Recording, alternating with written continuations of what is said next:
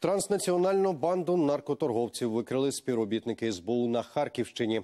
Як повідомили у прес-службі відомства, ділки налагодили контрабанди постачання кокаїну з Європи.